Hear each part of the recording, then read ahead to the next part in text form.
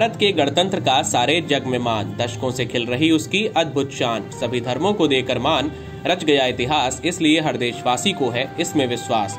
भारतवर्ष के पावन पर्व गणतंत्र दिवस के शुभ अवसर पर। अशोक कुमार, प्रधानाध्यापक, राजकीय उत्क्रमित मध्य विद्यालय, अमवा, पाटन पलामू, झारखंड की तरफ़ से आप सभी क्षेत्रवासियों व देशवासियों को हार्दिक शुभकामनाएँ।